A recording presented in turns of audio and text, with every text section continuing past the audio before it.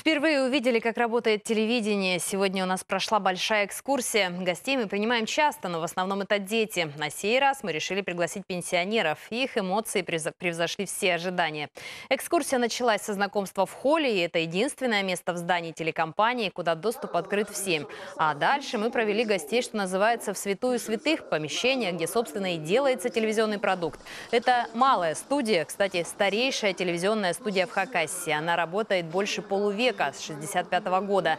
Старшее поколение не может не помнить эфиров, которые шли отсюда. К примеру, здесь выступали звезды советской эстрады Владимир Маркин и Валерия Бадзинский. В этой студии пел Осип Кобзон и даже записал здесь фонограмму на одну из своих песен.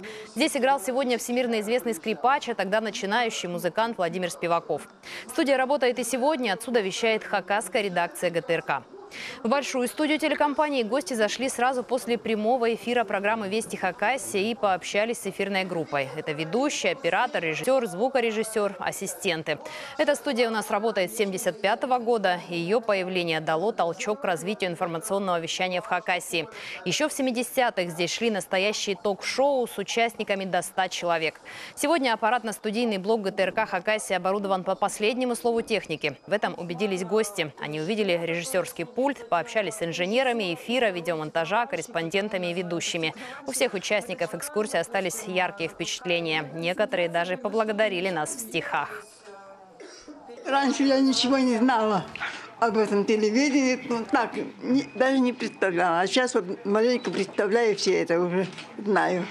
Ну, мне уже 70 лет, мне это интересно. В нашем возрасте э, хочется еще больше узнать, еще больше посмотреть, еще больше порадоваться. Мы очень э, удивлены вашей работой. Что меня больше всего удивило, я была очень удивлена, что сначала делается звук, а потом укладывается фото. Всю жизнь считала, что сначала фото, а потом звук. Как все здесь изменилось.